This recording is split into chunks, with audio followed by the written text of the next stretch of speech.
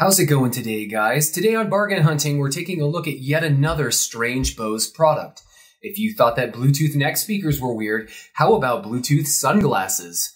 Bose sells their Alto frames for $200, and I was able to score a display model for only 5 bucks. So let's take a look at them after the break and see if they're worth the full asking price. Stick around.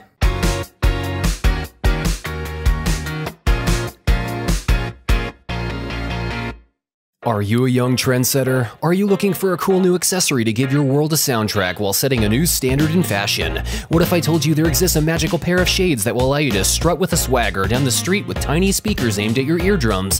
Retro shades which allow discreet listening of your favorite jams. Bose hears you, and now you can hear Bose as well as the world around you. Wear our signature sound on your face and take phone calls with the push of a button. Available in two unique styles. Alto, for those with unusually large large heads, and Rondo for the ladies, or anyone with a lady size head. We could have made these slimmer, sexier, and out of something other than plastic, but we didn't, and we don't have to because we're Bose, and you'll buy our products because we told you to. These are the sunglasses with a soundtrack. Frames, available for $199.99. Get them now so we can wipe our asses with your money. Fuck you, bitch. I didn't have a box last time, so I learned my lesson. Here's a box from some snack crackers. Now let's delicately get our Bose frames out of the packaging. In all seriousness, somebody tried to steal these in my place of employment, so Bose went ahead and sent us a new display with a more advanced security cable. As mentioned earlier, I paid only $5 for these, but being a display model, it comes with some compromises. There is a proprietary magnetic connector, and the display cable actually screws into the charging port, and those tiny screws were lost during the attempted thievery of these display shades, so I have to use a damn hair tie or even a piece of tape in order to charge these each time, which is slightly frustrating. And to top it all off, these seem like they're locked at 70% battery capacity, so you never get to 100%. While I wish they would have opted for a micro USB charger, I can't exactly complain considering that I actually have the opportunity to test these out. Now let's get these connected. There's a white light on the inside of the frame that indicates if it is connected or in pairing mode. We're going to be using royalty-free music for this demonstration because I really don't want to get a copyright claim again.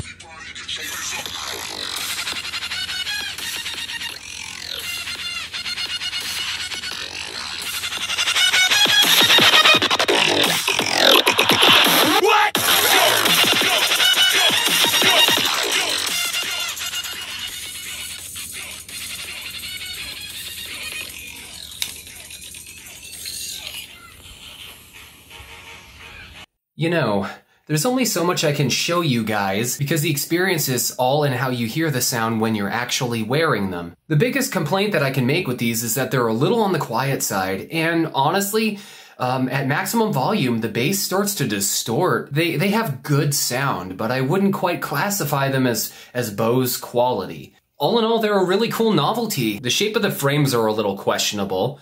I mean, I, I believe that they could have made these thinner or prettier, you know, maybe offer them in different colors or something. But at least Bose is trying to shake things up and do something different. I never would have imagined that we'd have Bluetooth sunglasses or neck speakers. I'm not a Bose advocate. I've never paid full price for any Bose product ever, so maybe I'm not one to talk. My wife really likes them. She's actually the one who I bought these for, so I, I can't pull off sunglasses.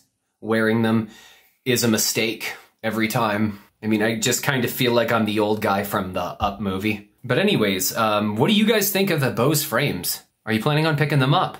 Leave your thoughts below and more, and consider liking or subscribing if you'd like to support me or see me check out some other weird products. Thank you oh so much for tuning in, and I'll see you next time.